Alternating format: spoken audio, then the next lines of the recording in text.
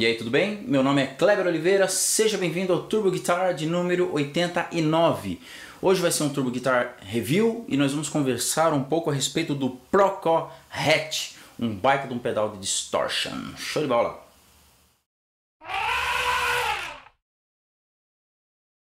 Beleza. Bom, rapidamente, qual foi meu primeiro contato com esse pedal? Foi digital, cara. É, um dos primeiros softwares que eu usei para emular guitarra, para gravar no computador aqui no meu, no meu home studio foi um software da é, Farm, da Line 6, que veio junto com uma placa de som que eu comprei e tal. E cara, muito legal, show, vixe, eu já usei pra caramba, gravei muita coisa com ele e tal. Só que na medida que o tempo vai passando, você vai conhecendo coisas novas, você vai experimentando coisas novas. O que eu uso, o que eu uso hoje não tem nada a ver com o que eu usava antes, mas enfim. É, não dá para falar mal porque o negócio me foi muito útil mesmo. E eu sempre fico antenado nos efeitos que eu mais gostava lá, aqueles que eu acabava usando mais, né? E, e de pedais, esse, o, o Hatch, foi o que é, me chamou mais atenção, né? E era difícil você chegar numa loja e comprar primeiro, porque era difícil de achar. Segundo, quando você achava era meu, faca nas costas de caro, né? Então eu aproveito e agradeço aqui o meu amigo Bruno Escoba, que assim como muitos e muitos equipamentos que ele já me emprestou aqui para fazer review para vocês, aqui tá mais um, tá? Então Escoba, aquele abraço para você e valeu de novo aí, tá?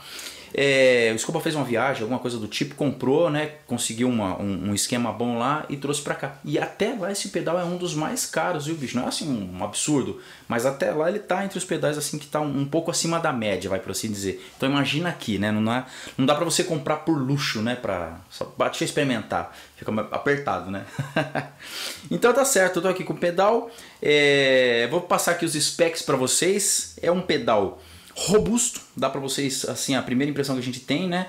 Você vê aqui pela, pela lateral dele que o, o chassi dele ele é bem, bem grosso, né, cara? É mais do que a, a, a, maioria dos pedais, né? Isso é bacana, passa uma sensação de segurança pra gente, já que você vai moer ele de tanto pisar, né? Mas eu acho um, um visual bacana, inclusive, né? Ele é simples, como eu já disse, muitas vezes aqui no, no, no, canal, eu gosto de pedal, principalmente pedais de drive distortion, não tem que ter muita frescura, né, cara? É distortion, filter e volume, três botões que vão fazer você chegar no timbre que você quer e num piscar de olhos, né? Então temos aqui o botão, o knob de distortion, que vai regular o nível de distorção do seu do, do pedal, o filter, que é o seguinte, cara, a grosso modo mesmo, bem simplificadamente, é agudo até o grave. Eu vou mexer vocês vão perceber que o que acontece é isso. E o volume que vai é, regular o volume, o nível de saída, né, o volume de saída do pedal. A chave que liga e desliga. Aqui no meio desse A é, o, é um LED que vai indicar que o pedal está desligado ou ligado. Aqui atrás temos o input onde você vai espetar a tua guitarra, o output que você vai espetar o seu ampli e bem no meio a, a entrada para fonte padrão de 9 volts. Atrás dele você tem um compartimento para bateria de 9 volts também padrão. Então, bicho, não tem chabu, né? É papum nesse pedal. Eu vou fazer então como é de praxe, eu vou é, experimentar ele ligado e ficar fuçando nos botões um pouquinho para que vocês saquem o, o que acontece com as frequências e com o, o, o, o distortion na medida que eu vou mexendo, tá bom? Timbre da guitarra limpa tá aqui, ó.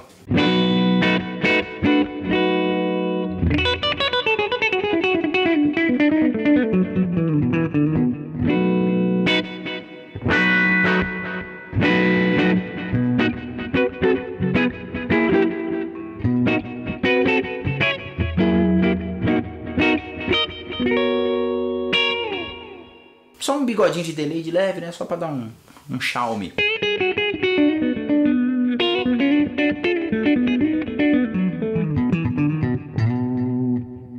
Vou tirar todo o, o, distortion dele e antecipadamente eu já digo.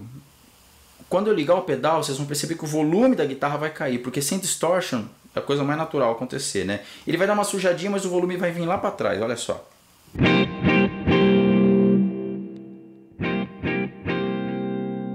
Percebeu como, como sumiu? Deu uma sujadinha, mas perdemos o volume.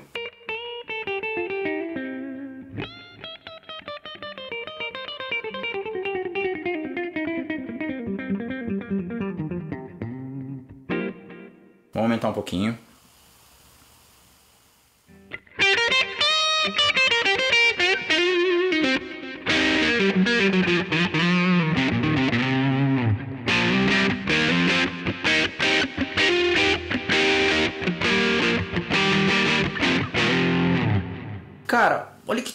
Gostoso, cara, envolvente, né? Você vê que assim, tá um. Ali a posição 9 horas, né? Que a gente costuma falar. É pouquinho, bicho, mas já dá um, um uma sutil sujada.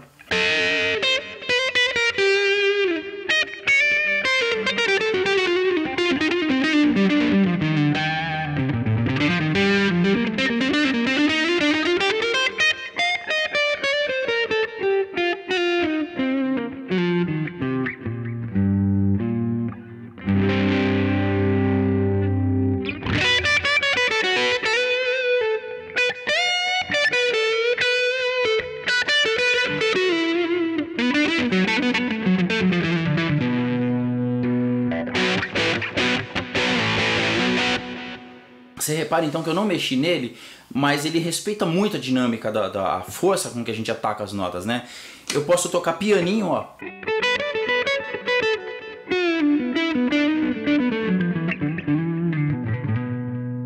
Ou posso ser um pouco mais agressivo.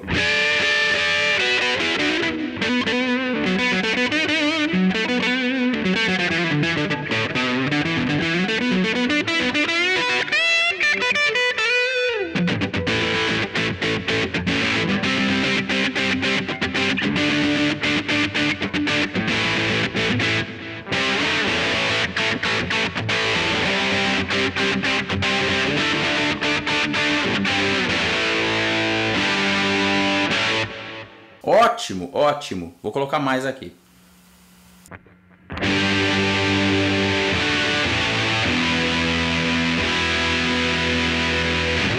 Agora sim, mais distortion.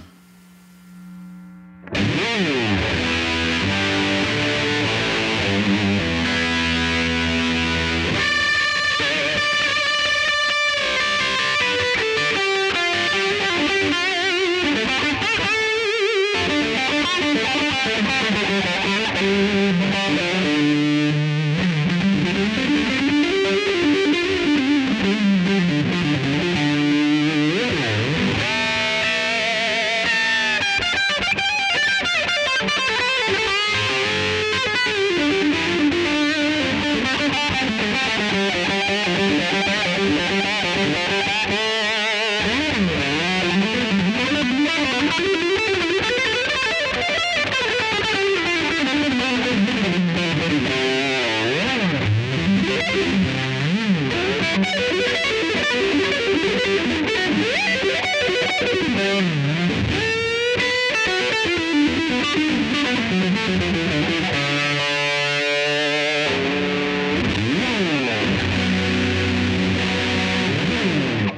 Vamos completar.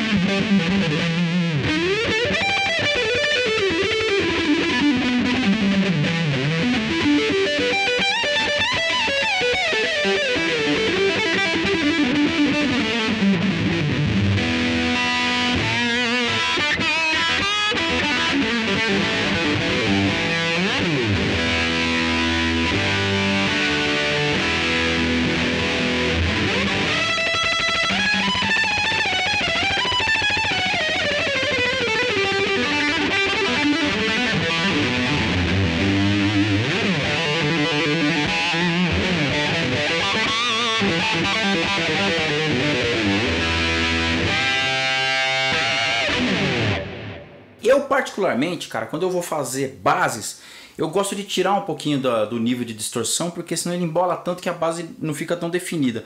Para esse pedal, eu acho que essa posição aqui seria a ideal para mim, né?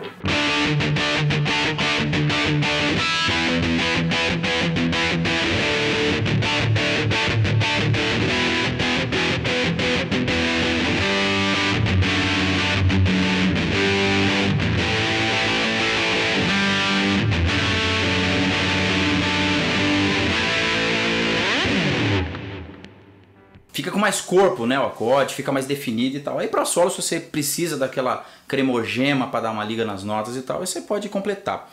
Eu vou aproveitar, vou diminuir aqui um pouquinho o distortion para ficar um pouco mais claro e vou mexer no filter para vocês, tá? Então, vamos lá.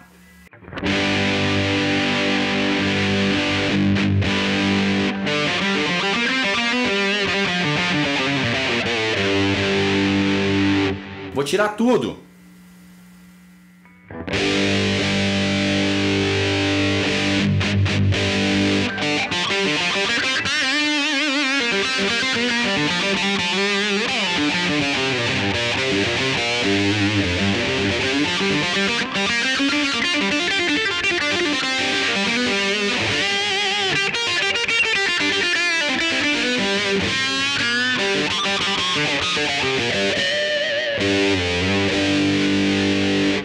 Ficou mais agudo. Dá até mais limpeza nas notas, viu, cara? Eu, eu uso assim do meio pra cá, viu? Essa posição eu gosto bastante. Vou colocar aqui um pouco mais.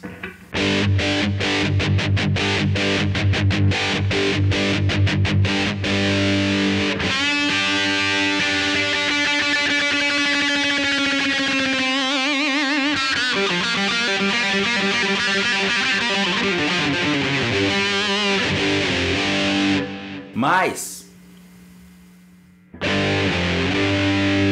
Sentiu agora o grave chegando? Dá, dá uma emboladinha de leve nas notas, mas ótimo.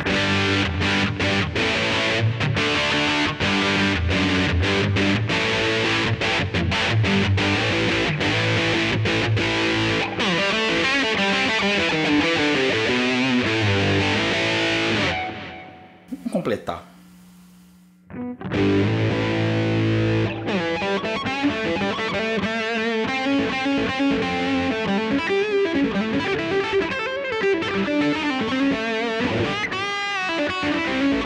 Eu,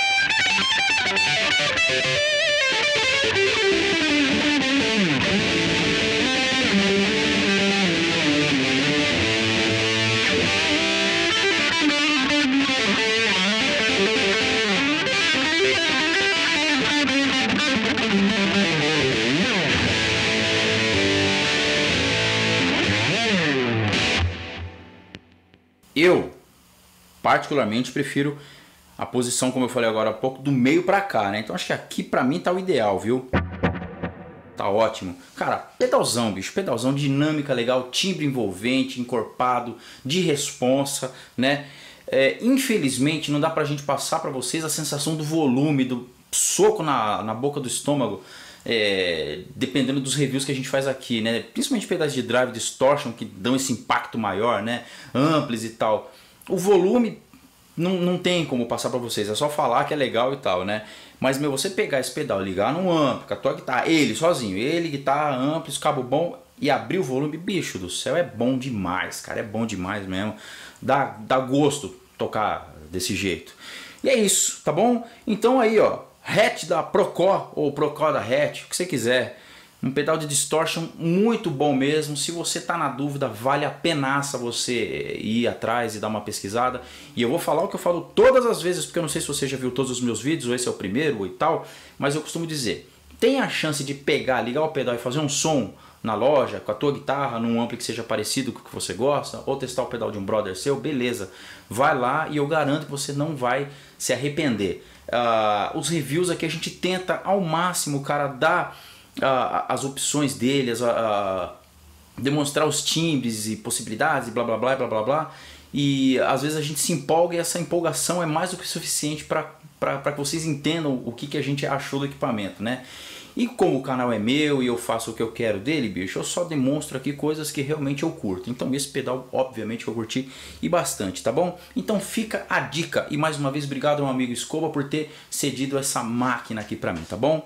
E como é de praxe, eu vou fechar a tampa fazendo um som para vocês usando aqui o Rat Distortion, beleza? Antes, gostou do vídeo? Se inscreve no canal tem alguma dica, alguma sugestão, qualquer coisa, por favor, escreve aqui que eu estou sempre em contato com todo mundo. E, e, se tiver alguma sugestão de algum vídeo que vocês achem interessante eu gravar, por favor, põe aqui. E assim que tiver na manga eu vou fazer com certeza.